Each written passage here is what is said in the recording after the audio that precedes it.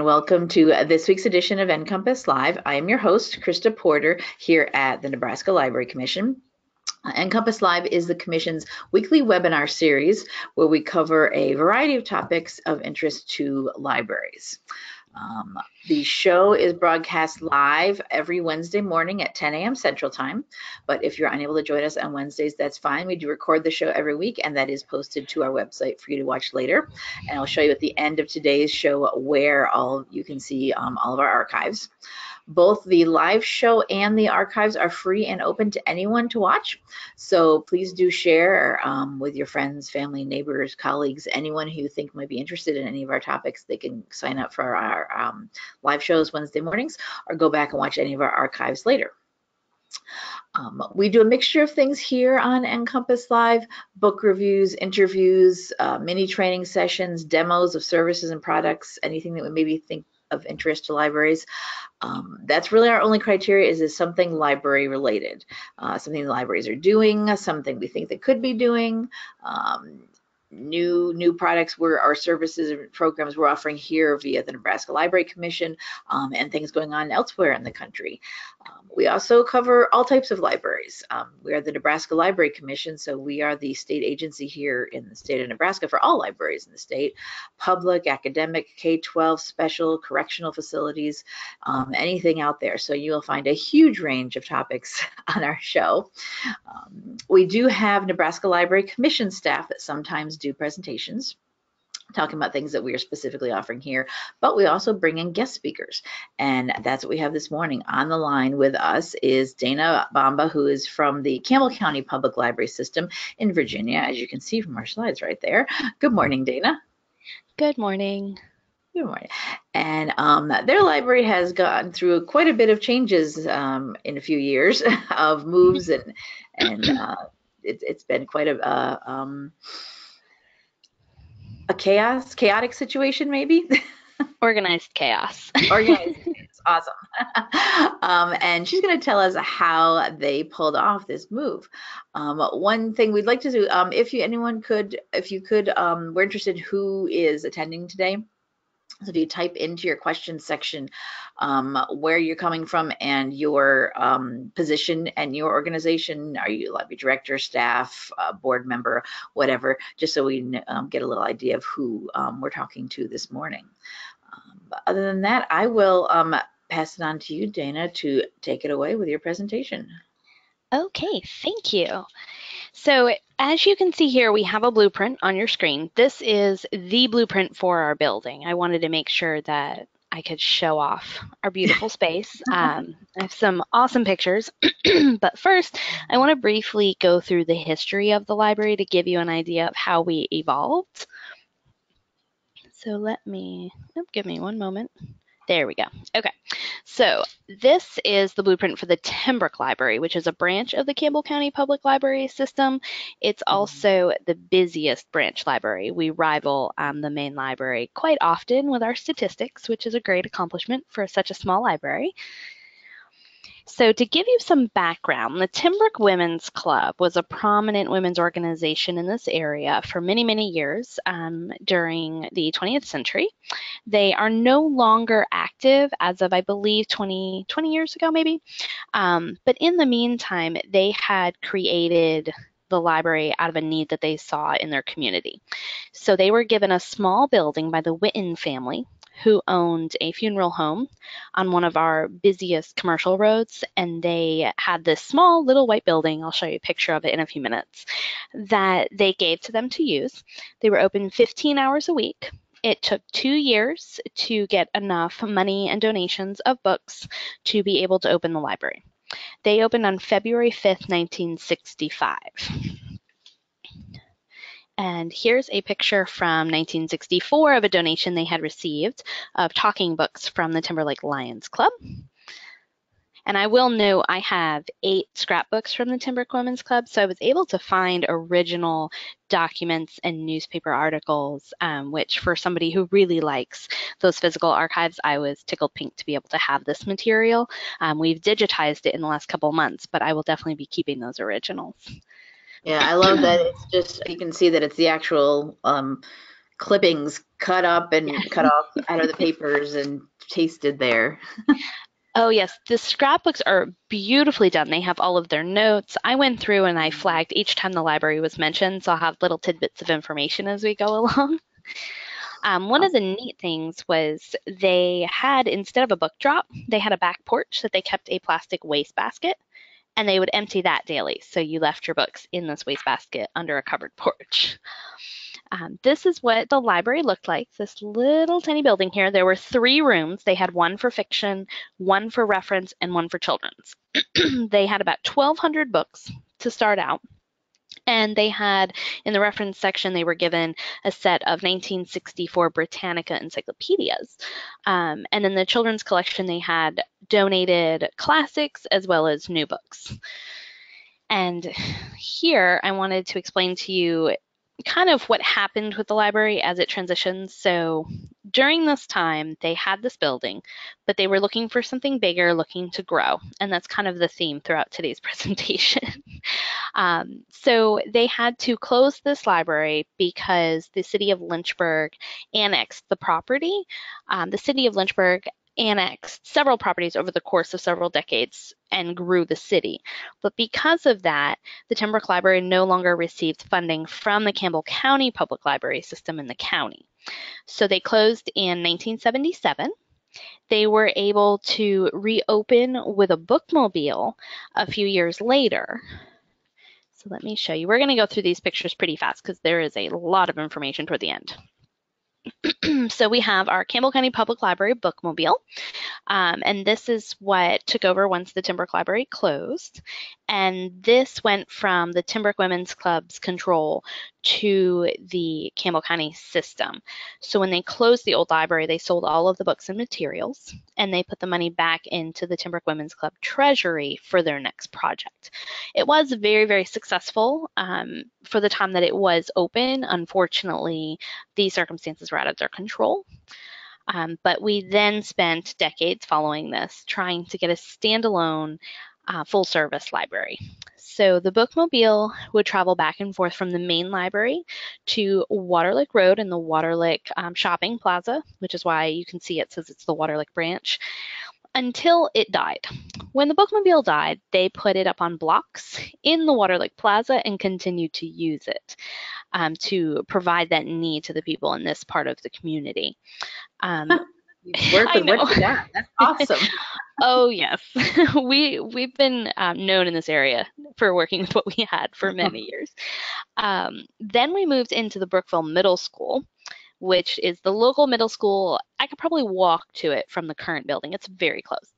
Um, they had two classes, or classes, two classrooms that they let us use until they needed the space in the early 90s.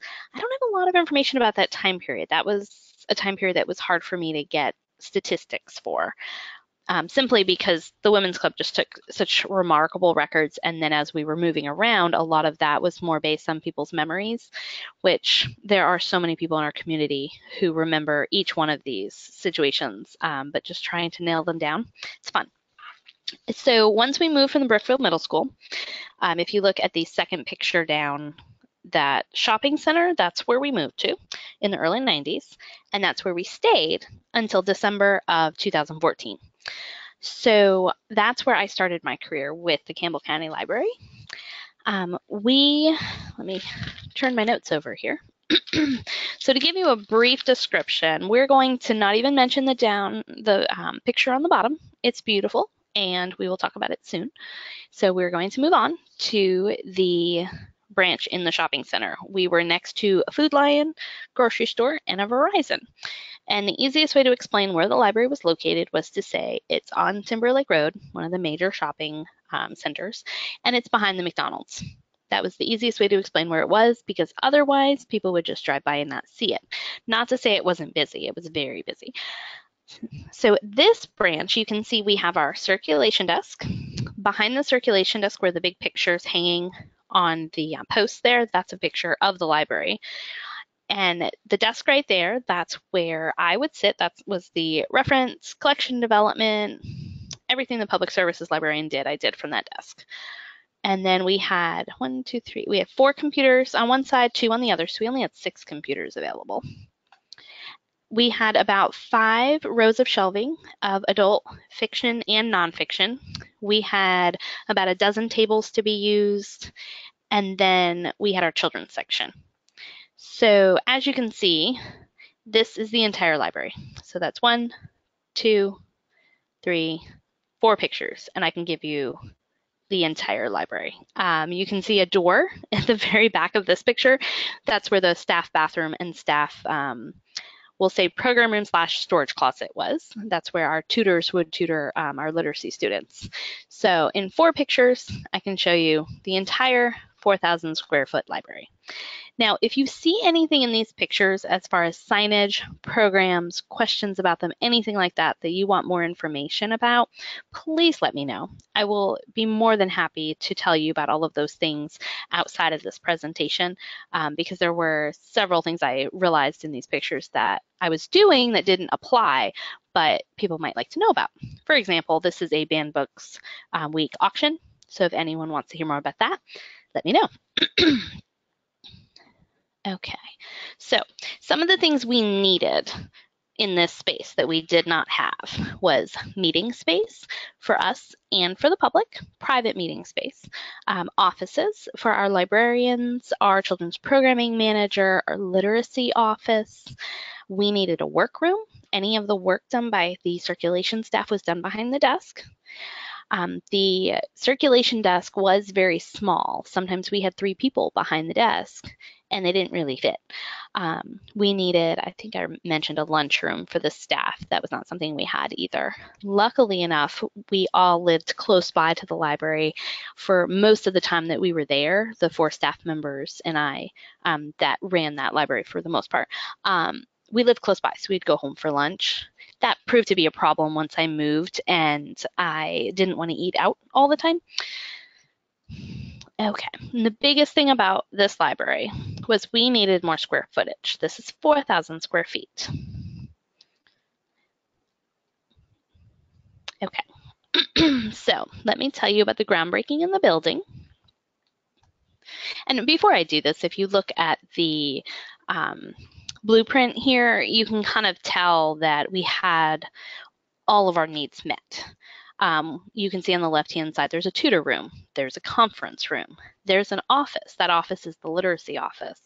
There's a closet in the literacy office for storage for the circulation staff. There's a glassed-in work area. I have an office now, and there's a lunchroom next to my office. That is all the space that we needed before in the old library that we didn't have.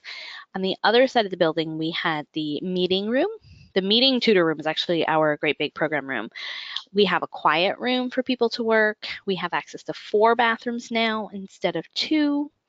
And this is blocking the children's room, but in the back, up where it says the ground, there's a great big children's room as well. so with this library, all of our needs were met. There's always room for expansion and growth. Um, I say there's always room for it. There's always a need for it. You just have to wait for um, your community to be ready and you have the funding for it. And that's something we'll talk about with this groundbreaking. So this building, the goal was $2 million. I believe at last count, we ended up spending 1.6 to 1.8 million dollars on this building. The original drawing is seen here, and the library does look almost exactly like this picture. Um, it does not have the dormers on the top, um, but everything else is pretty close.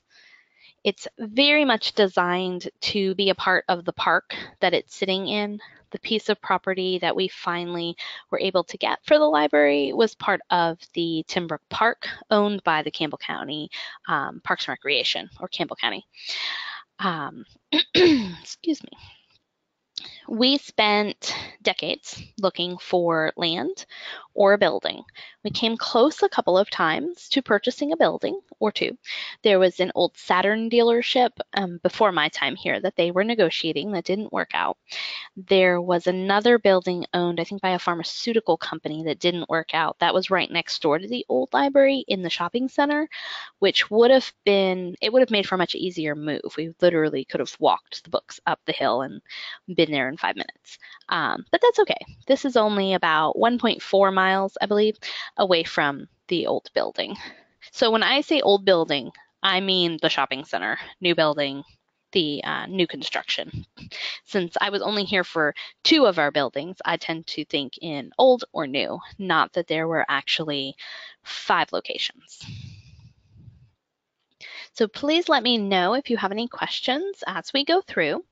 Um, one of the things I'd like to talk about here as well, oh, we can talk about it here, um, is the funding that we raised for this library. It was partially a HUD grant. It was partially the recipro reciprocal rent from the shopping center. So the money that the county knew that they would be spending in rent for the shopping center, they turned around and put that towards this new building so in a couple of years, the building will have paid for itself in terms of the money the county put in because they wouldn't be paying that rent anymore to the shopping center and the organization that owned it. we also raised private and um, public donations. So we received donations from several large companies in the area. Um, they then had naming rights. So we had a printing company make a donation, we had a stone company, and all of these places have plaques throughout the library acknowledging their donation. The size of the plaque and the size of the room that the plaque is in front of, the signage, um, depends on how much they gave. So there was a chart for that. Um, we did receive a very large donation from the transformer company Delta Star, and they had the option of naming rights, I believe, due to the size donation, um, but they did not do that since we remained Timbrook, um, which I believe is a combination of Timberlake and Brookville. Timberlake is an area of Campbell County with a very, very high population. Um, and Brookville is the school district that's closest by. Excuse me. Some of the donors um, that we had were uh, Progress Printing, a local printing company, Boxley, the Stone Group, a couple of banks, the Bank of the James, and the First um, First National Bank of Altavista. Uh, to name a few, our Friends Group as well made a sizable donation this is probably a good time to mention the Friends group. The Friends of the Timbrook Library have been around for about 48 years. They so they've been around since almost the beginning, and they have been fundraising for this building for decades. This is one of the big success stories of the Timberlake district of Campbell County because the community had wanted this building for a long time. It had needed this building. It's a very, very busy library. And the money that was raised took a long time. So they used to hold uh, tractor pulls and fundraisers in the Timbrook Park for this building. Little did they know that they would actually be building their library where they were holding these events. Um, to give you an idea of some of the numbers for our library, the Timberlake region serves about 23,000 of the 50,000 people in Campbell County. The Timbrook Library in 2015, oh, I'm sorry, 2015 is when they were building the building. I said 2014. In 2015, the small library in the shopping center served over 50,000 citizens, loaned over 50,000 items, and offered 65 community programs. We also were the location for about 82% of the literacy volunteers through our literacy uh, program. They served adult learners of basic literacy skills and English as a second language. So we were very, very busy. So this $2 million got us a beautiful building and took a very long time to raise. The bulk of it was raised in about a decade. The library director um, who came in in 2000, I'm thinking 2008, I believe. I don't want to, yes, I believe it was 2008. Um, one of her goals in coming in was to finish raising the money for this project and see it through to fruition. So it took about a decade to finish that fundraising. Um, and I have a quote here for you about this building. Um, Nan Carmack, who is our former library director of Campbell County, she just uh, relocated to the Library of Virginia. So we wish her well, but she said, this facility is a community success story demonstrating what citizens, volunteers, businesses, and government agencies can do when working collaboratively toward meeting a local need and a common goal. I think this is a pretty big accomplishment for this community.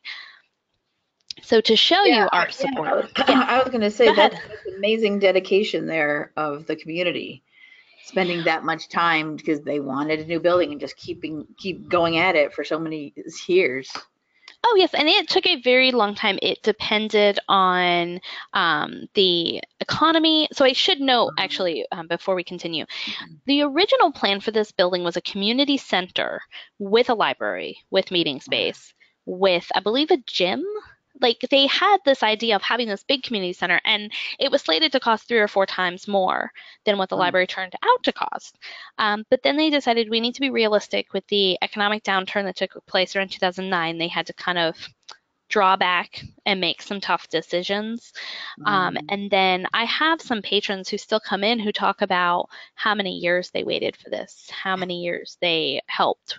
I didn't realize for a while, I thought, oh, they've been raising money, you know, 10, 20 years. Not, you know, that's a long time. Not a, you know, big deal. And then I had a patron tell me about when the library opened and how they had been looking for a standalone building since the beginning. So I started doing my research. And I'm like, oh my gosh, that's more than 40 years. You know, that's longer than a lot of my patrons have been alive.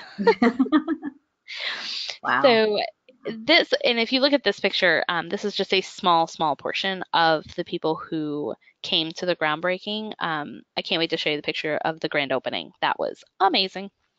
So I'm going to move along a little quicker here just so we can get to the nuts and bolts of the moving, which I think is the biggest part of probably what you all want to know. So I will say I got to turn one of those shovels, and that was a really awesome experience because not every librarian gets to say that they got to build a building and they got to move a library. And this was my second or third year working here, so it was only the very, very beginning of my career, which I'm hoping means that I learned a lot. So that if this ever comes up as an opportunity for me again, then I can take those things that I learned. Um, I'd like to put in a little plug here for our former branch manager, Judy Gerlinger. Um, this is one of the uh, slides that she had written. She had lost her voice due to cancer. Um, so she said, It's really happening after all the years of dreaming, planning, working. We're here celebrating the second best day. So for her, it was the second best day because the best day would be the grand opening. Unfortunately, um, Judy passed away two months after the grand opening, or the, um, not the grand opening, the groundbreaking. So she didn't get to see that.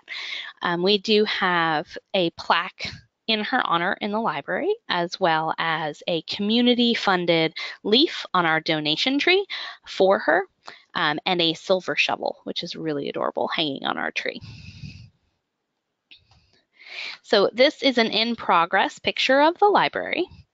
And I will note all of these pictures say photography by Toby. Um, Toby Robertson is a local photographer who took pictures for us, not only for this, but for different events and the grand opening, different library programs. And he donated his time and he would give us the pictures afterwards and the copyright to it, which is wonderful. so this is the front of the, well, the front is on the right hand side. You can see the pillars for the porch. So I would drive by here every day on my way home from work and I would look to see how much more did they do. So when the walls went up, it seemed to just go so quickly. I didn't understand a lot about the foundational part. I just felt like it was taking forever. But they broke ground in March of 2015. We started moving the library December 1st of 2015. So this was built in a very, very short amount of time and there were no delays. I was informed by a colleague that most library buildings see an average of two to four months of delays. We didn't have any, which is amazing. Okay, the moving process. So at any point, if you have questions, um, just speak up if you have audio. If not, um, just send your questions and let me know. Mhm. Yeah, anyone who wants to can type in the questions section of your GoToWebinar interface and we'll see them there and get them answered. I am going to just briefly look over my notes here to make sure that I'm on track for you. I don't want to miss anything. Okay, so the moving process. We did not hire a company. We did this with Public Works, my staff and Public Works. They're amazing. Um, I had one, two, three, four, five, six people who helped move in addition to myself and the director from the library. And then Public Works, I think, probably had either four or five guys who helped us and a box truck. and we moved the entire library. Um, we went from 4,000 square feet to 6,000. We have some extra shelving that we received from another library that was donated. So we had a few extra aisles and things to put in. And I will show you some pictures of how we moved the library um, and more of those logistics in a moment. Um, but I wanted to go over a little bit of some of the pros and cons of the move. I asked one of my staff members to give me some of her insight. And the biggest thing she said was the team building behind this. We all got to be in the same place at the same time, working the same hours for a month. So the entire month of December, we worked from 8:30 to 5 and took an hour lunch together. So we got to eat together. Um, the biggest thing they were excited about was getting to wear yoga pants to work every day for a month. Um, so we were comfortable, we were active. well, many, if you think about yeah. many times, you're in the public eye. So not only do you have to make sure you're professionally dressed, you have to make mm-hmm. sure you're mm-hmm. acting in a professional way at all times. Your customer service has to be um, impeccable. And one of the things that she had also mentioned was they could be themselves without the public watching them and really have fun with each other and get the work done. Um, and these ladies are all, I mean, of varying ages and abilities, and they moved books like there was no tomorrow. They were so excited about this. That I feel like that really fueled our energy. I started wearing my Fitbit during this month. we were averaging between 10,000 and 17,000 steps a day. It was awesome. And we all felt great because of it. Um, so, some of the things that she talked about that were wonderful were um, everything was new. So yes, the not all the shelving was new, and we were moving all of our books, but the circulation desk was new, the tables and chairs, the offices, everything was new. And for a library that hadn't seen anything new in a really long time, this was really, really awesome. Um, another thing she said was being able to collaborate together on how to decorate, um, where to put things. I really left a lot of those things up to them if they were in the workroom where that was their space. It's not my space, it's their space. I had an office to decorate, so I was happy as can be as well. Um, they really were able to collaborate. Um, some of the things now we talked about, or I had mentioned in my description, the bumps and bruises along the way. So I want to briefly mention some of those. Um, the only physical bruises, I would guess, um, came from some unsteady book carts. Let me see. Okay, these are the book carts. These were made by Public Works. They have, let me see, tiny little wheels. If you see those wheels, it's kind of like a Jeep that can roll over easily. Um, so these tended to fall over. Luckily, we only we only dropped two. they do really look bad. taller than usual. The right, you, yeah, as you can see in this actually picture over the right, the traditional book, library book carts. Yes. So yeah. let me pull this up. Okay. So Nina in the background there is not that tall. This was, I think, the vantage point. Um, but these, I'm 5'3".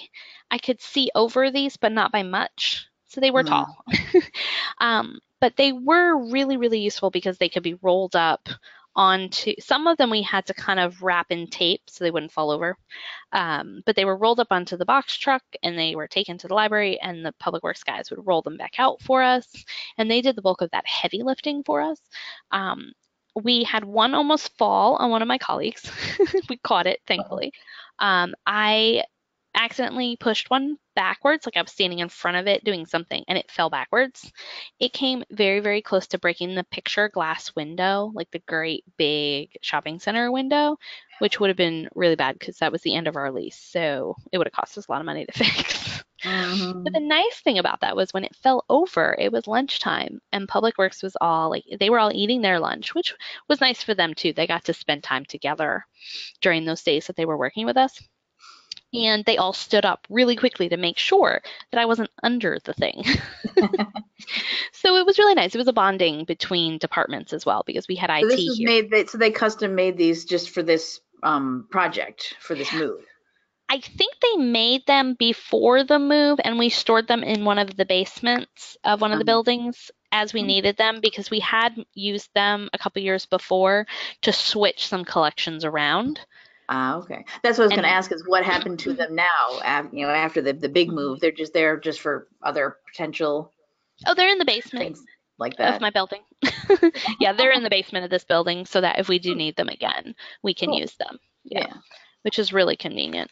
I will mention here as well, if you have someone who's really good with logistics, I can't wrap my head around this, but I had a staff member who did, so she instructed everyone. All of these books are not random. Everything was put on the cart in an order so that when you put it back up on the shelf, it's in order. I honestly can't wrap my head around it, so I stopped trying. I had other things to worry about. so if you have someone who's really good with logistics and you want to task them with figure out how to put these books on the cart so that when they come off they are in order, that will save you so much time. This is also why we did not use volunteers to put the books on and off the We thought we were going to until we realized how complicated it was, and we really didn't have the time at the end of the month to make sure that they were all in order if a problem arose. So we labeled all the carts with a piece of paper on top of each one of these um, with the range, and we were able to get them back on the shelves very quickly this way. Two people worked per cart so that you didn't have constant bending, which caused fatigue for some of our um, staff members. And then towards the end of putting the books on the shelves, we ended up having to do a lot of shifting. That was one of the cons that um, my staff member gave me. Um, poor Rachel, she did most of the shifting and she was amazing with it because every time she got done, there was more to shift because our shelves just filled up so much more quickly than we expected. Um, we do still have pretty tight space with our um, our shelving, but like I had mentioned before, we had to scale back our expectations with the economy and we had to build the size building that we could afford in the um, with the donations that we had. Um, so while I would have loved to build, you know, a two-story, great big expansive building. Um, that was just not what we could do at this time with our community. So we did what we could, which not to say isn't wonderful and beautiful. We have so much space that we're very, very grateful for. And I will um, share with you a little bit of information about that meeting space that was added on um, in a minute here. But this room is one of the meeting rooms. It seats 50 people. So let's go backwards a little bit here. I can show you around. This is the front of our large print, which we put by the door. It's one of the things that my staff members had the option of doing was to think through where things would go. And someone suggested the large print should go closest to the door because the age range of people who use large print are usually people who are older and less mobile, so they shouldn't have to walk as far. In the old library, so the shopping center library, they had to walk to the back of the building to the darkest corner of the building to get their large print. So now it's in a well-lit area right in the front. Behind that, we did uh, fiction and nonfiction. And then I haven't mentioned YA yet. YA had their own section in the shopping center, and they ended up with an entire corner of the library for themselves in this building. So we don't have a room for teens, but we do have a section with a, um, what's the word I'm looking for, like a coffee house table, like the high top table. This is our juvenile section, and we have some extra shelves on the left-hand side as well moving to this building, we did um, take the opportunity to weed our collection as well to make sure that we were moving the most current material. We hadn't weeded um, a couple of the sections in a little while, so we took this opportunity to do that. The room in the back of this picture is the children's programming office. Our children's programming managers, we have two of them for the county for four libraries. They travel from library to library. One of them serves um, birth through five years old. The other serves five years old to 18. And we wanted them to have a space in this library so that they each had a space, an office to work through, and they share them, um, but then they had space to work. Okay, let me check my notes here to make sure I'm not forgetting anything. Ah, the children's room. Okay, this picture I took yesterday pretty much right now looks the same as it did when we moved, aside from some wear and tear on the little green seats. Um, the company we got the green seats from, I think it was Harris in Roanoke, Virginia, they've recently gotten an updated version that's easier to clean. I love these seats. I don't recommend the cloth. I recommend getting, um, I think they have vinyl now. They are much easier to clean. Um, some of those little things you learn along the way. And then I will mention because the room looks so beautiful right now with the walls, let's talk about paint for a minute. Um, not everyone is well versed in paint. I certainly wasn't until we were working with this building. I strongly recommend investing in a paint that's wipeable. So I believe that would be semi-gloss, um, or there might be another one. But please do that. You do not want flat paint. It makes for uh, wear and tear very quickly. We've repainted this children's room as well as our conference room already. So I would um, definitely recommend you do not want flat paint. That's my soapbox. I'm getting off of it now. Um, the other thing we learned with building this library was that your windows in the interior and probably the exterior should be as high as standard library shelving. Now I say the library shelving, um, the shorter shelves, not the tall ones um, in the adult collection, but the shorter shelves in the juvenile collection, these are, I believe, 42 inches high. So your windows should probably be 42 or 43 inches high so that you can comfortably put shelving underneath it up against a wall if you need to. Um, that was one of the challenges we had with our program room. On the outside, the windows were a little bit shorter, so we had to invest in a different kind of shelving instead of using one of these. So just one of my suggestions. I wanted to make sure that I threw in here a couple of things that I learned um, through the nuts and bolts of moving. And then the third thing I wanted to mention um, was to have a contingency plan, a contingency for your landscaping.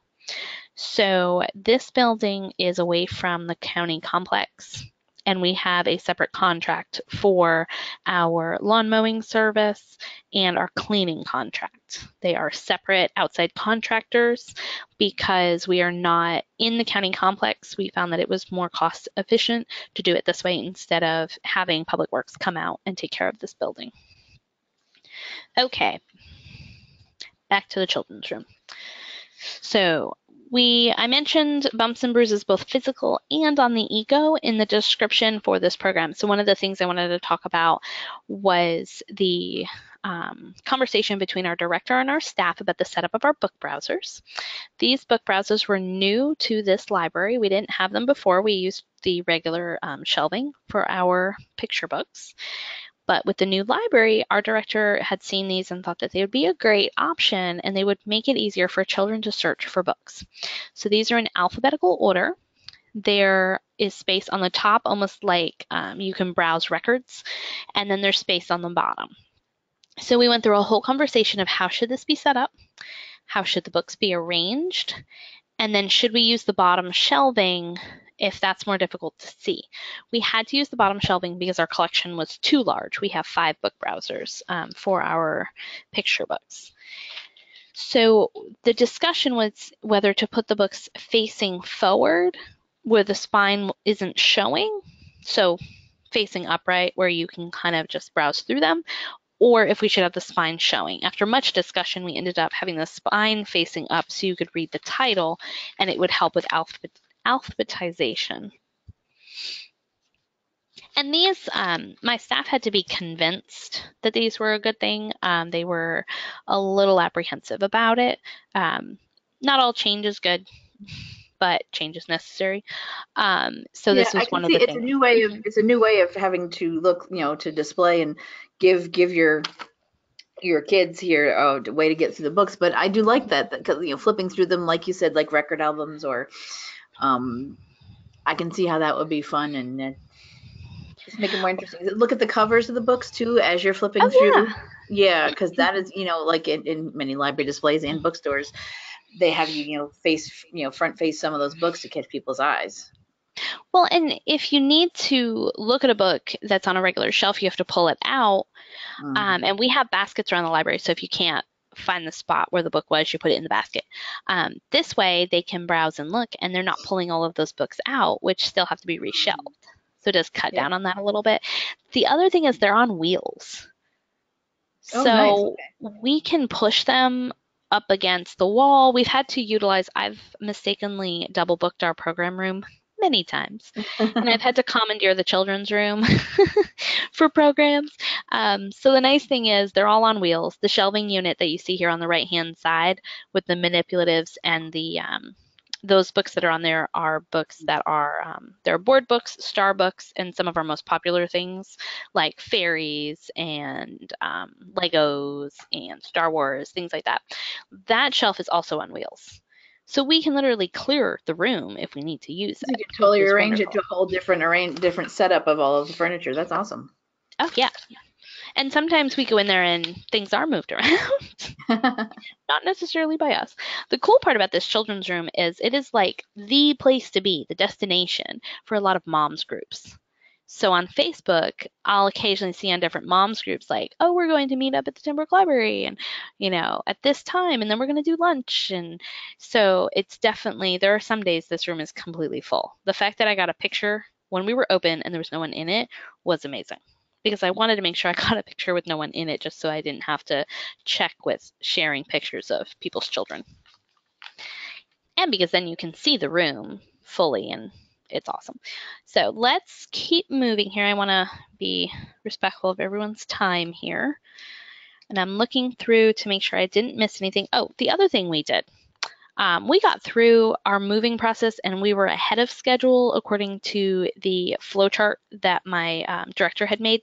So occasionally we'd have full days where we had I had to find things for my staff to do. We caught up on all of our webinars for the products we had on our website, like um, Credo, Literati, um, Find It Virginia, the research topics that we had.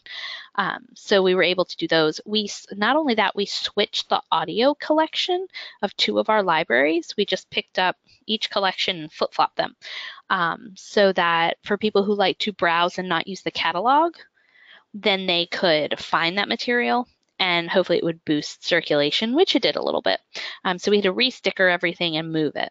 So we did that for a couple of days as well. And then in between, people took time off. There was the holidays and everything. So it was about three weeks, I believe, three or four weeks worth of work um, that we had. And let's see, I covered that. I'm going to make sure I touched on everything that Rachel gave me. So one of the things she mentioned was we've been here two years. We're still figuring out what works and what doesn't and what needs to change. That also depends on your staff. We've had some turnover, so we have new staff members. So preferences are different. So the workroom, the circulation desk, those things are always evolving to see what works for everyone. And one of the things she loved was being able to work with the different departments, public works and IT, and spending time with them um, and getting to know them. All right. So this is another view of the program room. The program room has a little kitchenette and a bathroom, and we make that available to the public after hours if they schedule it, fill out an application, and get a entry code. We have a keypad on our door, so we can give them an entry code. The two doors that lead into the library, we lock them at the end of the night. One of them has an entry code as well for staff so they don't have to use a key. The other one we will unlock as we need to throughout the day if there's a big program.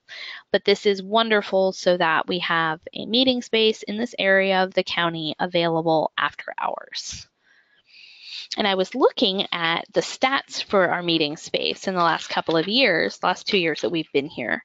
And we're, excuse me, my gosh. We're averaging 75 reservations in three rooms for the library every month for use for tutors, library programs, meetings, etc. And then about 45 to 50 on average per month for the community for these three rooms. We're also averaging about 6,000 um, patrons a month. I did not check our circulation, but I know it had been the first year and a half it was up by 30%, which is right in line with the expectation of a new building is usually your circulation does increase by 30%. Okay, this is a view from the front door before all of our shelving was set up. So our circulation desk was on the right. So this is kind of like the physical view of the blueprint behind it that you can kind of see everything that the box is covering on the, the page. This is what it looks mm-hmm. like in real life. Um, so we used a lot. So Nan Carmack, our former director, was or is an artist. So she has a um, really good eye for colors. So she picked all of the colors. Um, so there's a lot of blues and oranges. The carpet has little tidbits of all of these colors as well. And it really fits with the park. So it feels like the building has always been here, that it should be sitting in this spot. So it really um, kind of blends with the nature around us. And we talked about our book carts. It went a little bit out of order here, but I really wanted to be able to kind of just conversationally talk to everybody. Um, and then as you have questions, uh, just let me know. Yeah, no problem. Um, yeah, anybody, if you have questions, type them in so you can get them answered um, while we're on the line here right now with Dana. Type into your question section. so these are our computers. Um, this was a new product that the furniture company we went through had um, put out around the time that we were building, so we thought they were awesome. This was one of those learning processes. So there's three computers on this side, three on the other side, I believe, two, and then one on that second set.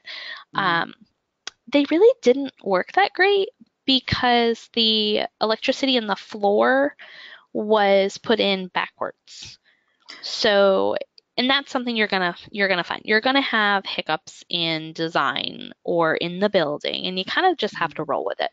So what we ended up doing instead of having these two aisles now we have three circular um, stations. So they basically reconfigured these with a few extra pieces and they were able excuse me the wind is blowing. We're on the top of the hill in the park so the wind is blowing. It just blew my door open. Oh my. I looked over i'm like oh hello. Um, so the computers now are in three circular or i would call them circular triangular um, but there's three of them. But they still use those backs the, the same backs because that are yes. behind these? Yes, they had to buy some extra pieces to kind of configure, but mm. those backs are um, what are they made of?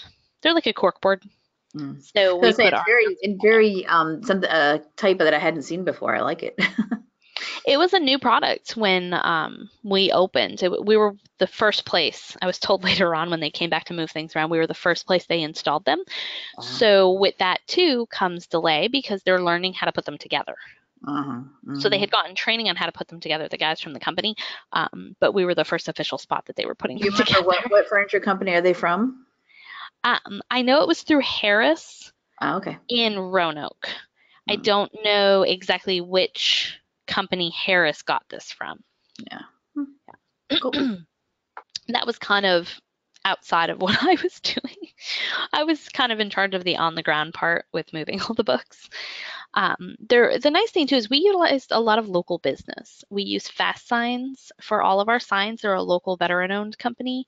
Um, we used a local woodworking company. Their name is escaping me right now. To do the end caps that you see in the background there, our shelving isn't identical. There's three or four of one kind and two of another. So we put all the end caps on to make everything look uniform. So you can't really tell unless you're really looking, um, but it does definitely dress it up quite a bit. Uh, let me see here. Okay, let's move on to the grand opening. This was amazing. We had a soft opening on a Friday night on January 8th for all of our donors and all of our prominent guests and people of the community, which was wonderful. Um, I'm an introvert, so I say wonderful, but by the end of this weekend, I was exhausted. So Sunday, I hid in my house all day. But for the time being, it was wonderful. And it was really great to see everyone um, coming into the library for the first time. So to give you an idea, this is about half of the people who came to the library for the opening. Um, the parking lot was full. Um, everyone was so patient waiting outside. It was cold and chilly that day. It was January 9th in Virginia, which is like 40 and rainy. It's at least, I mean, it's not like the Northeast or Nebraska where it's freezing, I'm sure, in January. Um, but we had at least a thousand people come through that day which is quite a bit for one day. Um, capacity for the library is 200. So we had um, actually the door count at the time hadn't been installed yet. So there were a few little things we still had to do. So we weren't able to capture an exact number. But everyone that came, it was interesting. They weren't just there to see the library and see all of these great, wonderful new things that we did. They were there to use the library. So we quickly realized that people were bringing their books back. They were coming to check out books. There were people on the computers when all of these people were crowded around them. So they didn't they didn't want to just come and look at it, which was really awesome. They were patiently or not so patiently waiting for us to reopen so that they could utilize it, which is the whole purpose. I mean, it's the whole purpose of building the building. Mm-hmm. Um, so let me so the other nice thing about January 9th, um, 2016, when we opened, it was the birthday of the daughter of um, Judy Gerlinger, her daughter Janelle. It was her birthday. It was also our children's programming manager, um, Valinda Trent's birthday. So we sang happy birthday and we had a really awesome grand opening. We had a poet, um, Bunny Goodjohn, come and speak. And then we opened the doors for everyone.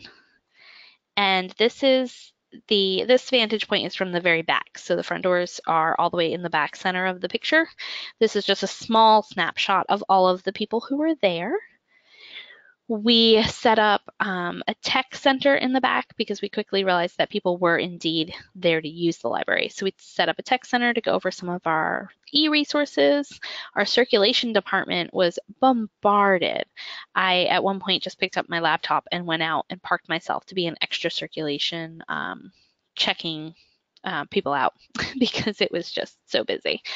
Um, I have about 200 pictures from this day, and every picture looks like this people are using the library. There are dozens of people everywhere. The children's room was being used and crowded. The program room had refreshments, all um, purchased through local businesses, um, and that was crowded all day long. We were open from 10 to 6, which were our um, Saturday hours. When we moved to this library, I was able to increase our hours by eight a week we had two late or seven a week. We had two late nights, and I was able to increase Saturday hours from four to eight. Um, so we were able to serve more people. And this is a picture of myself and my director, Nan Carmack, at the end of the day when we closed the doors and we were finally done. I actually almost wore this top today. that was kind of yeah, that was kind of the mindset. Um, about a month or two after this, Nan took a much needed month off and went to Ireland. She was mm. working on her doctorate and oh. opening this building and painting the main library all in the same year. Wow. so it was a much needed break, I'm sure. So yes, does anyone have any questions? I realize I did not include a slide with my contact information, um, but I can quickly pull that up if you would like it. Let me go sure, ahead and do yeah. that for you. Um, yeah, so if anybody does have any questions while we're on the line right now, go ahead and type them into your questions section. Um, let us know if you want to know anything more about how they did the move here or any more about the history of the library. Mm-hmm. Um, oh, there it is get. there she is. All right, there we go. There's my contact information.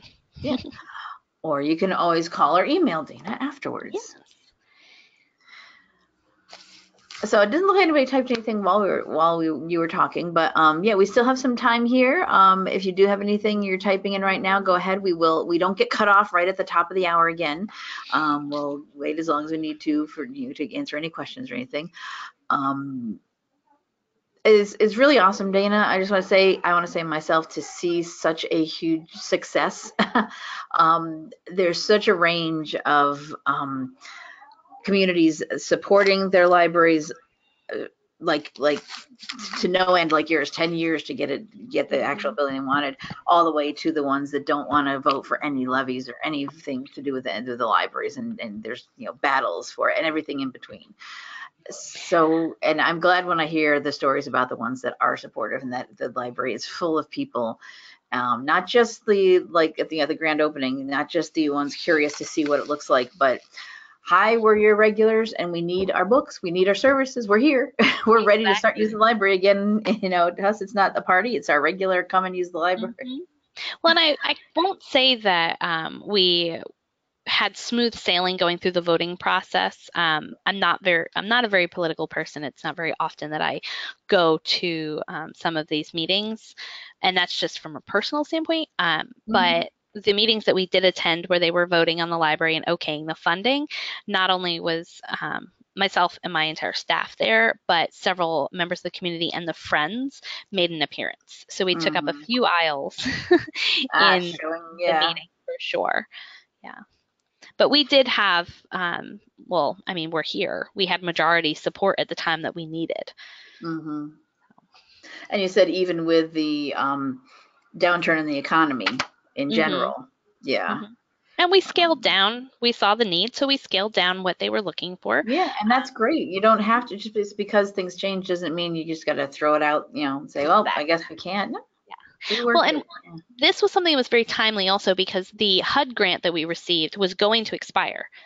So if yeah. we didn't get the funding and the voting, um, if we didn't get the vote through county government, then it was going to expire. So there was a little bit of an urgency there to where we didn't know where that HUD grant money was going to come from had mm. it expired. If, it, if but, you lost it, yeah. Exactly. So, but like I said, we had the support that we needed at the time that we needed it.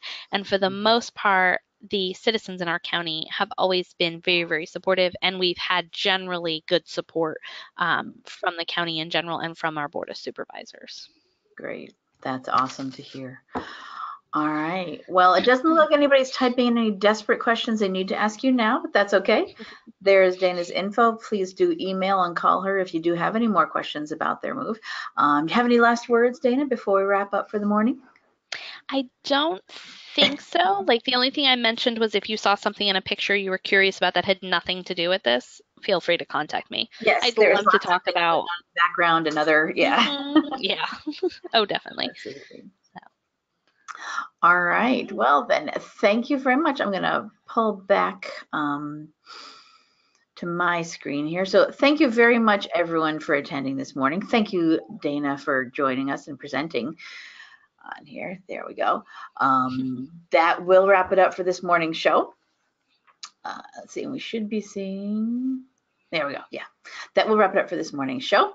Um, we will be, we have been recording the show, and if you go to our main page here, um, NCompass Live, uh, um, so far, NCompass Live is the only thing called this on the internet. If you use your search engine of choice, Google, wherever, and type in NCompass Live, you'll find our webpage. These are our upcoming shows, and right underneath them, as I told you I was going to show you, this is where our archives are. So you click here to see our archives. They come up with the most recent ones first. So uh, the one for today will be posted here at the top of the page. Should be available later this afternoon, uh, as long as YouTube cooperates with my uploading and processing of it. And we just like this, we'll have a link to the recording. Um, Dana, you'll send me your slides? Yes. Yep, and we'll have the presentation available too for everyone. And I'll email everybody who attended this morning and who registered today to let you know that the recording's available and it'll be just up there for everyone. Um, this is the 10th year of NCompass Live, which is a little stunning to me, but it is.